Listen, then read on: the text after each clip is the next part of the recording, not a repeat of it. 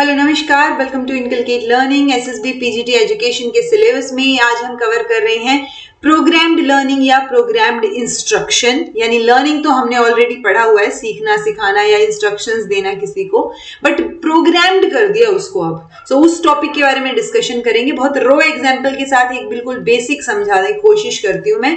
जैसे प्रोग्राम कोई भी होता है मान लो एनुअल प्रोग्राम हुआ है कोई भी फ़ंक्शन हमने ऑर्गेनाइज किया कोई प्रोग्राम रखा तो उस प्रोग्राम में कुछ पर्टिकुलर चीज़ें होती है ना कि सबसे पहले वो दीप प्रज्वलन होगा मान लो स्कूल में प्रोग्राम्स देखे होंगे आपने। उसके बाद जो है क्या करेंगे? अतिथि आके बैठ जाएँगे फिर वो वंदना होगी या फिर डांस होगा इस मतलब वो एक सीक्वेंस बना दी जाती है ठीक है? और वो सीक्वेंस के बाद लास्ट में जाके ये जनगणमन होगा और इसके साथ ही प्रोग्राम जो है वो एंड हो जाएगा राइट सो so, वो प्रोग्राम मतलब हमने सीक्वेंस में चीज़ों को डाल दिया कि इसके बाद ये होगी इसके बाद ये होगी। सो so, वैसे ही कुछ प्रोग्रामिंग करते हैं हम जब हम सिखाते हैं चीज़ें ठीक है? तो सिखाने के टाइम पे उन फिक्स्ड स्टेप्स को फॉलो करना प्रोग्राम लर्निंग में आ जाएगा। ये बहुत रो एग्ज़ाम्पल है। आई होप आपको इससे थोड़ा बेसिक समझ आ जाए। And this is presented by me Raveena videos informative लगे तो इनकलकेट लर्निंग को लाइक शेयर सब्सक्राइब आप कर सकते हैं। It's absolutely free so free में सब्सक्राइब करना तो बनता है जी। होता क्या है प्रोग्राम लर्निंग तो लर्निंग जो हमने परफॉर्म की है या इंस्ट्रक्शंस दी हैं किसी टीचिंग मशीन ने या प्रोग्राम टेक्स्ट बुक ने, वो क्या होगी? प्रोग्राम्ड लर्निंग होगी या प्रोग्राम्ड इंस्ट्रक्शन होगी। ठीक है, यानी फिक्स्ड है वो चीज़ें, देखा जाए तो स्टेप्स में है। ओके स्मिथ और मूरे ने बोला कि प्रोग्राम्ड इंस्ट्रक्शन जो है वो एक प्रोसेस होता है, जो कि अरेंज कर देता है लर्निंग मटेरियल को सीखने के लिए एक सीक्वेंशियल स्टेप्स में, एक सीरीज़ में, कि पहले ये होगा, जिनको हम फ्रेम्स बोल देते हैं। ठीक है? जैसे हम कोई भी मान लो कोई बुक कवर करवानी है मुझे मान लो मुझे एजुकेशनल टेक्नोलॉजी की एक बुक है मेरे पास और उसको कंप्लीट पढ़ाना है आपको। सो so, उस एजुकेशनल टेक्नोलॉजी की बुक में मैं फिर क्या यूनिट वाइज आ जाऊँगी? यूनिट से चैप्टर वाइज शुरू करूँगी। सो so, वो चीज़ें क्या है वो हमने स्टेप्स में ब्रेक डाउन कर दिया उसको। वैसा ही कुछ यहाँ पर है जो स्मिथ और मूरे बोल रहे हैं कि प्रोग्राम्ड इंस्ट्रक्शन में हम एक सीरीज़ बना देते हैं उस जो लर्निंग मटेरियल है उसको अरेंज कर देते हैं सीक्वेंशियल स्टेप्स में कि स्टूडेंट्स जो है वो एक होता है ना नॉर्मल बैकग्राउंड बेसिक से बेसिक बेसिक आएगा ये? बेसिक से कॉम्प्लेक्स की तरफ़ हम आगे बढ़ते हैं और एक न्यू सेट ऑफ़ कॉन्सेप्ट या प्रिंसिपल या अंडरस्टैंडिंग हमें हो जाती है। ठीक है? सो so, अब प्रोग्राम्ड में आप एक तरीके से स्टेप और सीक्वेंशियल चीज़ें याद रख सकते हैं। एक और डेफिनेशन है यहाँ पे। Programmed instruction is a plan sequence of leading to proficiency in terms of stimulus responses relationship that have proven to effective यानी वही कंटिन्यूटी में आप सीक्वेंस में उनको करेंगे जिसकी वजह से हम प्रोफिशियंट बना सकते हैं सामने वाले इंसान को। ओके कैरेक्टरिस्टिक्स क्या रहेंगी इसकी? तो कैरेक्टरिस्टिक में सबसे पहले तो यही है कि जो प्रोग्राम्ड लर्निंग है वो ऑब्वियसली एक मेथड है एक टेक्निक है, जिसके थ्रू हम इंडिविजुअलाइज इंस्ट्रक्शन भी दे सकते हैं। अब वो इंडिविजुअलाइज इंस्ट्रक्शन आप चाहे प्रोग्राम्ड बुक के द्वारा दें टीचिंग मशीन या कंप्यूटर्स के द्वारा दें, चाहे वो आप विद विद और without the help of teacher दें। ठीक है तो वो कॉन्टिन्यूटी में सीक्वेंस में, जैसे मान लो आप कोई मॉक टेस्ट अटेम्प्ट करते हैं ऑनलाइन तो उसमें सीक्वेंशियल स्टेप्स होते हैं ना कि आपने क्वेश्चन अटेम्प्ट किए, या कई बार ऐसे भी होते हैं जिसमें आपने पहला क्वेश्चन अटेम्प्ट किया, आप जो टिक लगाएँगे चार ऑप्शंस में से, वो आपको तभी की तभी बता देगा कि ये सही था या गलत था। फिर आप नेक्स्ट पे मूव करेंगे, वो सही गलत बता देगा आपको। राइट तो वो सीक्वेंस में चीज़ें चल रही होती हैं ऑटोमेटिकली चल रही होती है तो वो एक तरीके से मशीन ही तो है, वो वो कोडिंग ही तो कर रखी है हमने। वहाँ से हमें automatically without the help of teacher हम चीज़ें कर पा रहे हैं। सो वो ऑलरेडी प्रोग्राम्ड है चीज़ें और जो हम सीख रहे हैं उससे। से वो प्रोग्राम्ड लर्निंग कहलाएगा, ठीक है? इस टेक्निक में इंस्ट्रक्शनल मटेरियल जो है उसको लॉजिकली सीक्वेंस में डाल दिया जाता है और जो स्मॉल स्टेप्स में डाल के सब्जेक्ट मैटर को जो हम स्मॉल स्टेप या सेगमेंट्स में डालते हैं, उनको हम बोलते हैं फ्रेम्स कि अच्छा ठीक है, ये फ्रेम वन है, ये फ्रेम टू है, ये फ्रेम थ्री है। यानी पहले आप ये सीखेंगे, जब आपको ये अच्छे से आ जाएगा तो आप नेक्स्ट पे मूव करेंगे एंड देन नेक्स्ट पे मूव करेंगे। ओके? किसी पर्टिकुलर यूनिट को सीक्वेंस में लाने के लिए जो प्रोग्रामर है, जो प्रोग्राम बना रहा है कि अच्छा ठीक है, ऐसे ऐसे सीक्वेंस में आएँगी चीज़ें, उसको डेफिनेटली ध्यान देना पड़ेगा किस चीज़ पे कि जो लर्नर का एंट्री बिहेवियर है वो कैसा है। मतलब उसको इनिशियली कितनी चीज़ें पता है, किस तरीके से चीज़ें पता है। ठीक है? तब वो उस हिसाब से फिर क्वेश्चन जो है वो आगे सेटअप करता है। एक्चुअल ऑपरेशन में बात करें तो फ्रेम जो है, वो लर्नर के सामने होता है कि ये वाला फ्रेम लर्नर के सामने हो। मान लो पहला मोक क्वेश्चन आपके सामने है।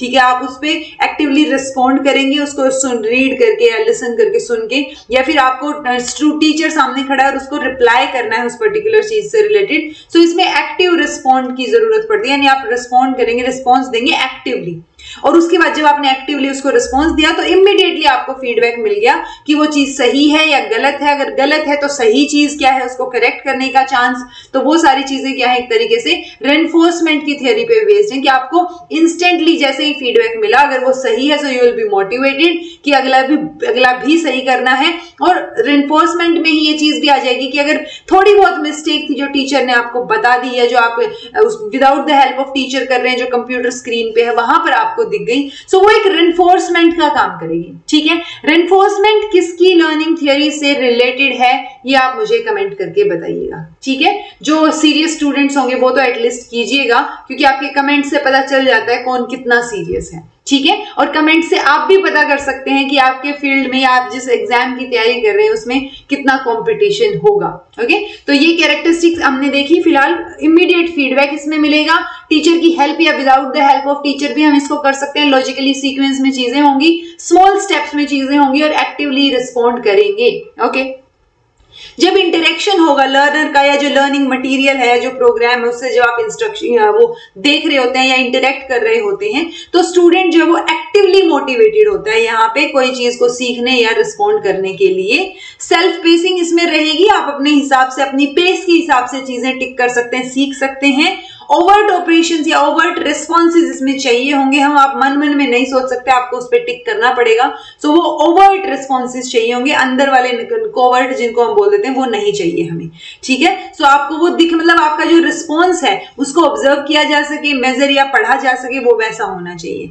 Provision for continuous evaluation definitely अगर आप मॉक टेस्ट अटेम्प्ट कर रहे हैं, जिसमें आपके हर एक क्वेश्चन के बाद सही गलत पता चल रहा है तो आपके पास इवेल्युएशन साथ साथ आपका हो रहा है। तो कंटिन्यूस इवेल्युएशन इवेल्युएशन जो है वो प्रोग्राम लर्निंग में पॉसिबल है। फंडामेंटल प्रिंसिपल्स की बात करें तो small step principle of small step so basically जो प्रोग्राम्ड लर्निंग है, वो ये जो मेथड है, ये मान के चलते हैं कि जब बच्चा स्मॉल स्टेप्स में सीखेगा ना धीरे धीरे कि अच्छा पहले ये सिखा दिया, फिर ये सिखाया, फिर एडवांस लेवल तक गए हम बेसिक टू एडवांस जाते जाते राइट तो वो स्मॉल स्टेप्स में बेटर तरीके से उसकी लर्निंग होगी। इसीलिए principle of small steps principle of active responding की बात करेंगे। अच्छा ओके हाँ ठीक है, वो लीनियर में आएगा। मुझे एकदम से स्किनर का नाम याद आ गया था, क्योंकि ये ये जो स्टेप्स है प्रोग्राम लर्निंग के कई बार स्किनर के नाम से पूछ लिए जाते हैं ओके तो वो लीनियर प्रोग्रामिंग में पढ़ेंगे हम अभी, थोड़ी देर में। So principle of active responding क्या होगा कि हम चाह रहे हैं कि जब वो एक्टिवली पार्टिसिपेट करे और एक्टिवली रिस्पॉन्स दे, तब बेटर लर्निंग होगी। इसलिए प्रोग्राम लर्निंग में हम प्रिंसिपल ऑफ़ एक्टिव रिस्पॉन्डिंग को जो है उस इंक्लूड करेंगे। प्रिंसिपल ऑफ़ इमीडिएट रेनफोर्समेंट तो आपको इमीडिएटली पता चल रहा है करेक्ट था नहीं था क्योंकि करेक्ट होगा तभी आप आगे बढ़ पा रहे हैं या फिर गलत है तो आप उसके बारे में पढ़ के फिर आगे बढ़ पा रहे हैं। सो वो इमीडिएटली रेनफोर्समेंट आपको मिलेगा। अपनी खुद की पेस के अकॉर्डिंग आप चल सकते हैं तो प्रिंसिपल ऑफ़ सेल्फ पेसिंग आपकी टेस्टिंग हो रही है आपका इवेल्युएशन साथ साथ हो रहा है so principle of student testing भी इसका फंडामेंटल प्रिंसिपल रहेगा क्योंकि इवेल्युएट कर रहे हैं हम साथ साथ सो so, ये बेसिकली पाँच जो है वो फंडामेंटल प्रिंसिपल्स हैं। जब हम प्रोग्राम्ड लर्निंग की बात करेंगे तो इनको ध्यान रखिएगा। स्टाइल्स की बात करें कि ये जो प्रोग्राम लर्निंग है या प्रोग्रामिंग है वो किस किस तरीके से हो सकती है? सो so, वो लीनियर या एक्सट्रेंसिक प्रोग्रामिंग हो सकती है ब्रांचिंग या इंट्रेंसिक प्रोग्रामिंग हो सकती है। मैथेटिक्स प्रोग्रामिंग मैंने आपको करवा रखा है आपकी जो मेथड है ये अपना स्टाइल ऑफ़ लर्निंग का ये मैंने आपको मैं आपकी प्लेलिस्ट में ऐड कर दूँगी। तो मैथेटिक्स मैथेटिक्स जो है वो देख लीजिएगा इंपॉर्टेंट है। ओके रूल ईजी या R U L E G आप जैसे भी इसको प्रोनाउंस करें, क्योंकि ये किसी का नाम नहीं है, अभी पता चलेगा। System of programming computer assisted instruction यानी कंप्यूटर की हेल्प से आपको इंस्ट्रक्शन दी जा रही है असिस्टेंस कंप्यूटर की है, और लर्नर कंट्रोल में लर्नर का फुल कंट्रोल है इंस्ट्रक्शन पे। ओके सो ये मैथेटिक्स मैंने ऑलरेडी करवा रखा है। ये दोनों बहुत ज़्यादा डिटेल में डिस्कस करने की ज़रूरत है नहीं। जैसा नाम है, वैसी ही चीज़ें हैं। हम लीनियर ब्रांचिंग और रूलेज सिस्टम जो है, उसको एक बार डिस्कस कर लेते हैं। ये देखिए बी एफ़ स्किनर ये याद आया था मुझे एकदम से कि मैंने शायद किसी स्लाइड में इंक्लूड नहीं किया क्या? बट ये इंक्लूडेड है यहाँ पे। सो लीनियर और एक्सट्रेंसिक प्रोग्रामिंग जब भी लीनियर प्रोग्रामिंग की बात आएगी तो ये क्रेडिट जो है वो किसका जाएगा? प्रोपोगेट करने का बी एफ़ स्किनर को जाएगा। ये डायरेक्टली रिलेटेड है उनकी ऑपरेंट कंडीशनिंग की थियोरी से। और ये किस पे अजम्पन पे बेस्ड है कि आप उसको जो ह्यूमन बिहेवियर उसको शेप या कंडीशन कर सकते हैं? अगर आप स्टेप बाय स्टेप आगे बढ़ते हैं तो विद सुटेबल रिन्फोर्समेंट तो आप जिस तरीके का बिहेवियर चाहते हैं ह्यूमन बींग से, वो वैसा ही बिहेवियर आपको मिलेगा। आप शेप कर सकते हैं मोल्ड कर सकते हैं, उसकी कंडीशनिंग कर सकते हैं। ठीक है? तो ये तो ये ऑपरेंट कंडीशनिंग में हमने पढ़ रखा है बट ये जो स्टेप बाय स्टेप है ना, ये बहुत इंपॉर्टेंट हो जाता है। कई बार आप कंफ्यूज हो सकते हैं अगर आपने प्रोग्रामिंग का पूरा नहीं पढ़ रखा। तो आपको बी एफ़ स्किनर का इतना याद रहेगा कि कंडीशनिंग की तो बात हुई थी स्टेप बाय स्टेप तो कहीं नहीं लिखा हुआ था। बट स्टेप बाय स्टेप चीज़ों को फॉलो करके ही आगे बढ़ेगा। स्किनर का एक्सपेरिमेंट किस पे था वो बता दीजिएगा। चिंपैंजी पे, चूहे पे, बिल्ली पे, कुत्ते पे किस पे एक्सपेरिमेंट था वो आप बता दीजिएगा। कॉन्सिक्वेंटली इस प्रोग्रामिंग में मैंने आपको बताया था कि जो इंस्ट्रक्शनल मटेरियल है, उसको हम सीक्वेंस में डाल देते हैं और वो सीक्वेंस जो है कि अच्छा पहले हमें ये फ्रेम पूरा करना है, ये दूसरा देन ये तीसरा। तो ये क्या थे? मैंने बोला था आपको कि ये फ्रेम्स हैं। ठीक है? सो ये जो सीक्वेंस में हमने मटेरियल डाला है उनको हम फ्रेम्स बोल रहे हैं। इन फ्रेम्स को सीक्वेंस में ही अरेंज किया गया है कि एक टाइम पे आपको एक फ्रेम नज़र आएगा फिर उसके बाद दूसरा। इसमें आप सक्सेसफुल होंगे इमीडिएटली जैसे ही आपने रिस्पॉन्ड किया तो आपको इन्फॉर्मेशन मिल जाएगी कि आपने करेक्ट किया या गलत किया। सो so, वो करेक्टनेस और रिस्पॉन्स वाली चीज़ आएगी जैसे ही आपने करेक्ट किया आप सेकंड पे मूव हो जाएँगे। ओके? और इससे आपके भी जो बिहेवियर है लर्नर का, उसमें भी रेनफोर्समेंट मिलेगी। नेक्स्ट फ्रेम पे भी आप मोटिवेटेड रहेंगे कि आपको ये सही करना है। एक स्टेप से दूसरे स्टेप पे तो ये स्टेप बाय स्टेप सीक्वेंस में आप चीज़ें करते जाएँगे और तब जाके आप डिजायर्ड लर्निंग एक्सपीरियंस जो है उसको एक्वायर कर पाएँगे।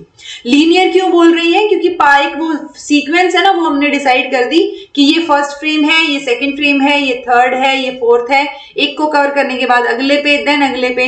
तो वो कॉन्टिन्यूटी में ये क्या लीनियर पाथ जो है इसका, वो यहाँ पे सिस्टमेटिक और लीनियर पाथ है इस प्रोग्रामिंग का ओके okay? सभी लर्नर्स जो है वो प्रोसीड करते हैं सेम फ्रेम से सेम ऑर्डर में, कि यही ऑर्डर रहेगा, यही फ्रेम रहेंगे सबके लिए जो इंस्ट्रक्शनल प्रोसीजर है, वो भी वेल कंट्रोल्ड होता है टीचर के द्वारा डेफिनेटली प्रोग्रामर के द्वारा, और वो वेल कंट्रोल्ड होता है, इसीलिए इसको एक्सट्रेंजिक भी बोलते हैं बाहरी तौर पे हम उसको क्या कर रहे हैं कंट्रोल कर रहे हैं कि अच्छा ठीक है फ़र्स्ट नहीं हुआ, गलत हुआ है कुछ तो वो कंट्रोल बाहर से रहेगा, इसलिए इसको एक्सट्रेंजिक प्रोग्रामिंग भी बोलते हैं। इस तरीके का कुछ दिखेगा, ये फ्रेम्स हैं फ़र्स्ट सेकंड थर्ड तो ये एंट्री बिहेवियर होगा आपका, ये पूरा पाथ ऑफ़ लर्निंग जब आप फॉलो करेंगे, तब टर्मिनल बिहेवियर आपका देखा जाएगा तो वो इवेल्युएशन भी आपका पॉसिबल है। जो लर्निंग जो ये अपनी लीनियर प्रोग्रामिंग है, ये ज़्यादा एम्फोसिस देती है सीक्वेंस पे। सीक्वेंस ऑफ़ रिस्पॉन्स एररलेस कि कोई एरर नहीं हुई, पहले पे बढ़िया रिस्पॉन्स दिया देन सेकंड पे देन थर्ड पे देन फोर्थ पे, ऐसे बट अगर इस पर हम देखें कि अगर ये गलत हो गया, क्योंकि ये सिर्फ़ किस चीज़ के लिए, ये सिर्फ़ करेक्ट रिस्पॉन्सेज के लिए बनाए गए पहला सही हुआ then second then third then ऐसे बट ये मतलब फोकस करते हैं सिर्फ़ पॉजिटिव रेनफोर्समेंट पे, कि सही ही होगा। लेकिन अगर लर्नर ने यहाँ पर गलत आंसर किया रिस्पॉन्ड नहीं किया पर्टिकुलर फ्रेम पे तो उसको या तो वो फ्रेम रिपीट करना पड़ेगा, वापस से वो चीज़ सीखनी पड़ेगी, नहीं तो वो बिना सीखे अगले वाली स्टेज पर नहीं जा सकता। ठीक है? तो उसको करेक्ट चीज़ पहले हमें बतानी पड़ेगी, सिखानी पड़ेगी, तब वो नेक्स्ट फ्रेम पे। बेसिकली ये लीनियर है, इसमें ऐसे होएगा कि पहला फ्रेम जब आपने अच्छे से सीख लिया, सही किया, तब जाके आप नेक्स्ट फ्रेम पे मूव करेंगे। आप अगले फ्रेम पे अलाउड ही नहीं होंगे अगर आपने पहला फ्रेम जो है वो सही से नहीं किया, ठीक है? देन है जी ब्रांचिंग ब्रांचिंग और इंट्रेंसिक प्रोग्रामिंग में आप नॉर्मन ए क्राउडर का नाम याद रखेंगे। ये क्रेडिट इनको जाता है ब्रांचिंग प्रोग्राम के लिए। अमेरिकन साइकोलॉजिस्ट है ये। लीनियर के लिए आप याद रखेंगे लिखेंगे स्किनर को, ठीक है? बीएफ स्किनर तो वो याद दोनों नाम याद रखिएगा। इन वर्ड्स में इन्होंने क्या बोला कि ब्रांच ब्रांचिंग और इंट्रेंसिक प्रोग्रामिंग जो है ना, वो according to the students need adapt करनी है हमें। ठीक है कि अगर आपने पहली वाली चीज़ गलत की है, यानी आपको समझ नहीं आई वो तो आपको एक सबसेक्शन पे मूव किया जाएगा। वो सबसेक्शन यानी कि एक तरीके से रेमेडियल टीचिंग पे मूव किया जाएगा, अगर आपको वो चीज़ समझ नहीं आई। उस रेमेडियल टीचिंग से मूव होने के बाद आप दूसरे फ्रेम पे मूव करेंगे। ठीक है? तो ये लीनियर प्रोग्रामिंग से बिल्कुल कॉन्ट्रास्ट में है, वो एक्सट्रेंसिक था, ये इंट्रेंसिक है कि अगर आपको ये समझ नहीं आया तो आपको रेमेडियल में जाना पड़ेगा। लर्नर अपने डिसीज़न लेने के लिए यहाँ पे डेफिनेटली फ्री है और able to adapt instruction according to his needs तो अपनी नीड्स के अकॉर्डिंग वो चीज़ें करेंगे। इसमें कुछ एक बेसिक एजम्पन है कि लर्नर जो है वो तभी बेटर तरीके से चीज़ों को सीख पाएगा अगर वो सारी चीज़ों को टोटैलिटी में देखता है। मतलब उसके पास सारी इंफॉर्मेशन अवेलेबल है मीनिंगफुल तरीके से मीनिंगफुल कंपोनेंट्स में। Okay okay? तो वो टोटैलिटी में वो होता है ना, पहले हम समरी करा देते हैं। वैसा सा है ये। लर्निंग मतलब ये है कि जैसे उसमें तो हम एक फ्रेम दे रहे थे, यहाँ पे हम एक पेज या एक मतलब एक यूनिट इस तरीके की चीज़ें भी दे सकते हैं। इतना लंबा हो सकता है ये। Okay so learning takes place better अगर स्टूडेंट्स जो हैं, उनको ट्रेडिशनल ट्यूटोरियल मेथड्स के पैटर्न पे ही सिखाया जाए तो वो ज़्यादा बेटर सीखेंगे। बेसिक लर्निंग जो है, वो जब आप नया एक्सपोजर देते हैं नए मटेरियल से तो वो नए एक्सपोजर जो है, वो वहाँ बच्चे को देखने को मिलेगा तो बेसिक लर्निंग वहाँ से होगी। अगर आप रॉन्ग रिस्पॉन्स देते हैं, उसका मतलब ये नहीं है कि आप बिल्कुल गलत हैं और आपके आगे सीख नहीं सकते आप। इसका मतलब है कि पहले उस रिस्पॉन्स को करेक्ट किया जाए। लर्निंग प्रोसेस में एरर्स जो है, वो हो सकती हैं। अगर एरर होती है तो उसको डिटेक्ट किया जाए और उसको करेक्ट किया जाए। करेक्ट करने के लिए हमें रेमेडियल टीचिंग में जाना पड़ेगा, ठीक है? तो लर्निंग टेक्स प्लेस बेटर अगर लर्नर जो है, वो सफिशियंट फ्रीडम उसको दी जाए, ताकि वो जो इंस्ट्रक्शंस है उनके प्रति अडेप्ट करके खुद डिसीज़न ले सके कि अच्छा ठीक है, मुझे ये समझ नहीं आया, मुझे इसकी रेमेडियल क्लास देखनी चाहिए। ऐसे। ठीक है? लर्निंग बेटर होगी अगर जो हर एक रिस्पॉन्स है, उसके बाद जो हम टेस्ट करते हैं ना कि सही है, गलत है, वो टेस्टिंग चलती रहेगी। अगर टेस्टिंग में वो गड़बड़ है तो फिर आप रेमेडियल इंस्ट्रक्शन पे मूव कर जाएँगे। मल्टीपल चॉइस आइटम्स जो है वो इसमें दिए जाएँगे। ये बोलते हैं कि मल्टीपल चॉइस लर्निंग प्रोसेस के लिए बेटर होता है रादर देन कि आपको फोर्सफुली एक ही रिस्पॉन्स देना है। ठीक है? ये कुछ एक बेसिक एजम्पन्स थे। इसमें भी वही इंस्ट्रक्शनल मटेरियल को हम यूनिट्स में डिवाइड करेंगे, जिनको हम फ्रेम्स बोल रहे हैं। बट वो फ्रेम जैसे लीनियर में क्या थे? कॉन्टिन्यूटी में थे ना? वन टू थ्री इस तरीके से। एक लाइन में थे। वो लीनियरिटी हमें यहाँ नहीं दिखेगी, ठीक है? तो ये यहाँ पे वो चीज़ वो एक साइकिल की तरह चलेगी कि लर्नर एक फ्रेम पे जाएगा। अगर वो वहाँ पे जाके रिस्पॉन्ड करेगा, जो मल्टीपल चॉइस क्वेश्चन है उनसे रिलेटेड फिर वो डिस्क्रिमिनेट करके एक सही आंसर चूज़ करने की कोशिश करेगा। अगर वो सही है तो अगले फ्रेम पे मूव हो जाएगा, लेकिन अगर वो गलत है तो फिर उसको डाइवर्ट कर दिया जाएगा रेमेडियल फ्रेम्स तो यहाँ पे रेमेडियल फ्रेम्स जो है वो एक नई चीज़ लेके आए हैं ये. ये तो फ्रेम्स थे लीनियर में वन टू थ्री इस तरीके से. बट अगर ये गलत हो गया आपका तो आपको रेमेडियल फ्रेम्स में भेज दिया जाएगा. अगर फिर से भी गड़बड़ हो रहा है देन फिर से कोई रेमेडियल मतलब उन रेमेडियल फ्रेम में होगा कि आपको अलग तरीके से वो टॉपिक समझाने की कोशिश की गई है. जैसे कई बार होता है ना, किसी बच्चे को समझना है तो टीचर ये ये यहाँ समझ नहीं आया किसी को समझ आ गया तो वो तो अगले पे मूव कर जाए। लेकिन जिसको समझ नहीं आया टीचर उसको एक और नया एग्ज़ाम्पल देके फ्रेश एग्ज़ाम्पल देके समझाने की कोशिश करते हैं। राइट तो ये सारी चीज़ें ऑलरेडी डिसाइडेड है कि अगर ये गलत हुआ तो वो यहाँ मूव करेगा ये गड़बड़ हुआ तो यहाँ मूव करेगा। सो so, वो इंट्रेंसिकली प्रोग्रामिंग में ऑलरेडी फिक्स्ड है। ठीक है? तो ये साइकिल तब तक चलती रहेगी जब तक लर्नर जो है वो चीज़ों को अपनी पेस के हिसाब से सीख नहीं जाता। इस तरीके से कुछ आपको दिखेंगी। जैसे ये मेन बात तो हमारा ये था वन टू थ्री नैन ठीक है? बट अगर यहाँ पे वन गलत हो गया तो हमारे पास ए बी सी डी ये रेमेडियल ऑप्शंस अवेलेबल हैं। तो इनको हम रेमेडियल फ्रेम्स बोलेंगे ओके देन किसी भी तरीके की ब्रांचिंग हो सकती है। मान लो, ये आपने सी वाला या रेमेडियल फ्रेम ये किया, इसके बाद इससे लिंक कर दिया। सो so वो चीज़ें अलग अलग रहेंगी। ब्रांचिंग किसी भी तरीके की हो सकती है। बट ब्रांचेस निकली हुई है दैट मीन्स एक फ्रेम से दूसरे पे मूव अगर आप कर पा रहे, गलत है आपका फ़र्स्ट फ्रेम पे कोई चीज़ तो आपके पास ऑप्शन है कि आपको अलग अलग तरीके से समझाया जा रहा है। ठीक है जी?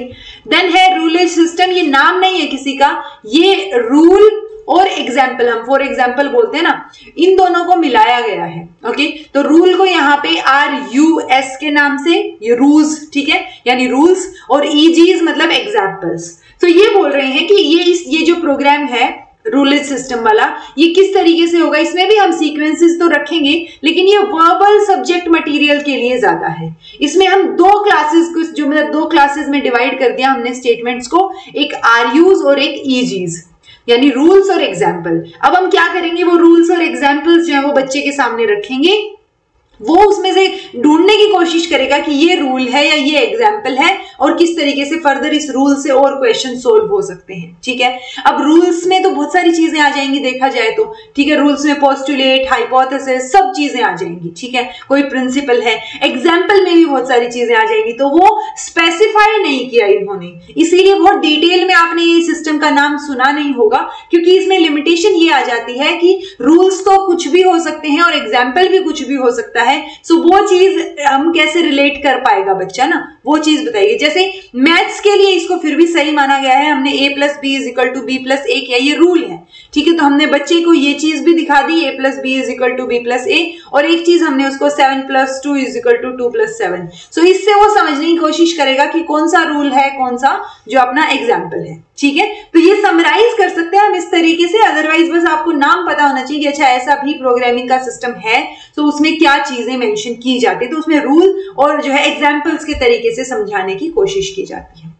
अब जब आप कोई भी प्रोग्राम्ड इंस्ट्रक्शनल मटेरियल करेंगे मतलब प्रोग्रामिंग करेंगे उसकी तो उसके डेवलपमेंट के लिए आपको चीज़ें चाहिए होंगी। तो वो डेवलपमेंट में तीन स्टेजेस आ जाएँगी, एक प्रिपरेटरी फ़ेज़ एक डेवलपमेंटल फ़ेज़ और एक इवेल्युएटिव फ़ेज़ बेसिकली ये तीन फेजेस हैं जब हम लर्निंग मटेरियल या इंस्ट्रक्शनल प्रोग्राम के लिए डेवलपमेंट ऑफ़ आएगा, ये development of a program learning program या लर्निंग इंस्ट्रक्शनल प्रोग्राम ठीक है? सो वो चीज़ रहेगी तो उसमें डेवलपमेंट जब आप करते हैं लर्निंग मटेरियल या इंस्ट्रक्शनल मटेरियल की तो वो मटेरियल uh, को बनाने में तीन फेजेस लगते हैं। पहला है प्रिपरेटरी फ़ेज़ उस फ़ेज़ में हम क्या कर रहे हैं ऑब्जेक्टिव्स डिसाइड कर रहे हैं अजम्पन्स डिसाइड कर रहे हैं। कि अच्छा ठीक है एंट्री लेवल पे ये बिहेवियर होना चाहिए लर्नर का। कुछ एक स्पेसिफिक आउटलाइंस जो है, इस तरीके से हम क्राइटेरिया टेस्ट प्रिपेयर कर रहे हैं। तो वो सारी चीज़ें प्रिपरेशन वाले मोड में है हम यहाँ। यहाँ डेवलपमेंट वाले मोड में है कि हमने प्रिपरेशन तो कर ली अब उसको समझाना कैसे है?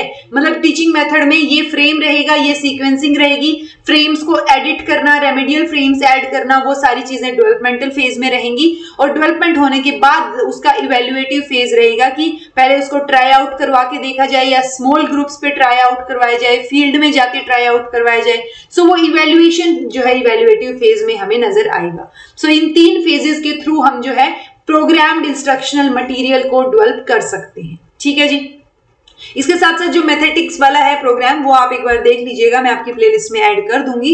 एक एक और चीज़ आती है सेल्फ लर्निंग प्रोग्राम्ड मॉड्यूल जैसे अगर आप ई ज्ञान कोश का मटेरियल देखेंगे, या एनआईओएस के में भी है शायद चीज़ें। एनआईओएस के मटेरियल में भी। उसमें क्या दिया होता है कि स्मॉल स्टेप्स मतलब एक छोटा टॉपिक दिया, उसके बाद आपको क्वेश्चन दिए मिलेंगे, ताकि आप उनको सोल्व करके देख सके। फिर आगे नया टॉपिक एक्सप्लेन किया, फिर उसके क्वेश्चन तो वो आपकी सेल्फ लर्निंग प्रोग्राम मॉड्यूल है, यानी आप उनमें खुद से भी सीख सकते हैं। सो so, एक टीचर एक सब्जेक्ट टीचर जो है वो अप्रोप्रिएट प्रोग्राम लर्निंग मॉड्यूल्स जो है उनको डेवलप कर सकता है किसके लिए? सेल्फ इंस्ट्रक्शन या सेल्फ लर्निंग के लिए। कि वो अपने हिसाब से अपने लेवल पे बच्चे अपने पेस पे सीख पाए उससे। बट उसके लिए क्या करना पड़ेगा? सबसे पहले आपको देखना पड़ेगा कि कौन सा सब्जेक्ट मैटर है। आप किस चीज़ या किस एम या किस ऑब्जेक्टिव के साथ एक लर्निंग मॉड्यूल जो सेल्फ लर्निंग मॉड्यूल है उसको बनाना चाह रहे हैं। सो so, वो आपको डिसाइड करना पड़ेगा। इसमें भी हम तीन फेजेस जो है वो लेके चलते हैं कि पहले आप इंस्ट्रक्शनल ऑब्जेक्टिव या उन उनसे रिलेटेड डिसीज़न लेंगे कि ऑब्जेक्टिव क्या होगा एम्स क्या होंगे।